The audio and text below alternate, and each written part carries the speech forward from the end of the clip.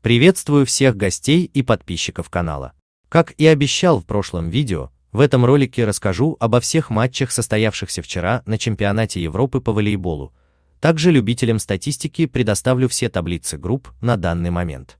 Ну и расскажу, кто сыграет сегодня в заключительный день игр на стадии группового этапа на Европейском первенстве. Итак, начнем с нашей группы. В ней прошло два матча.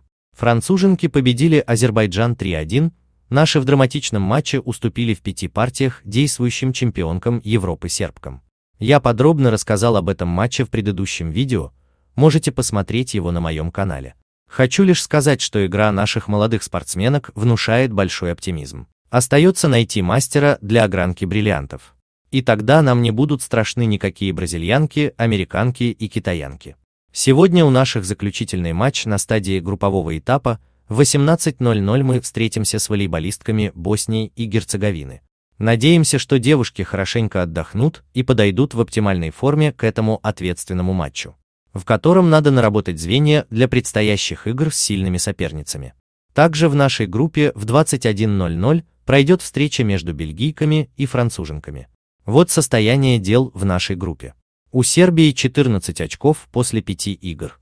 У бельгиек и сборной России по 8 очков после 4 игр.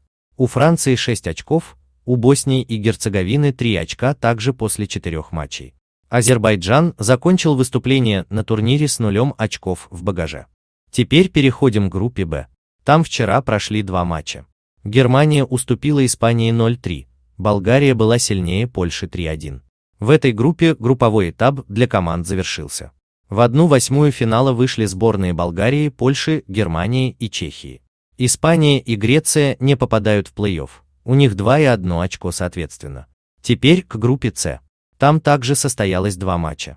Венгерки уступили волейболисткам Беларуси 2-3, хорватки неожиданно легко проиграли итальянкам 0-3.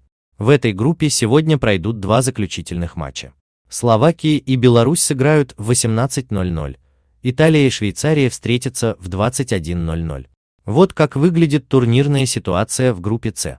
Италия и Хорватия набрали по 12 очков. Беларусь и Венгрия имеют в своем активе по 5 очков. У Словакии 3 очка, у Швейцарии 2.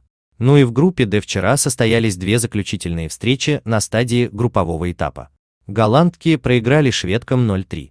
С таким же счетом румынки уступили украинкам.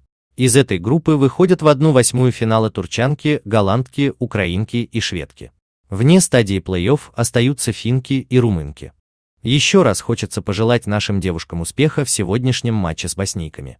Ну а я на этом с вами прощаюсь. Всего вам доброго и до новых встреч на моем канале. С уважением, Ренат.